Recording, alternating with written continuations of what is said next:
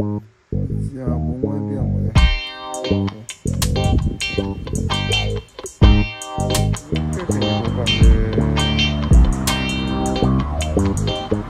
いや、新んの時間、高級で、だから、お金で、ほとんどで、その、だから、コーヒー、ス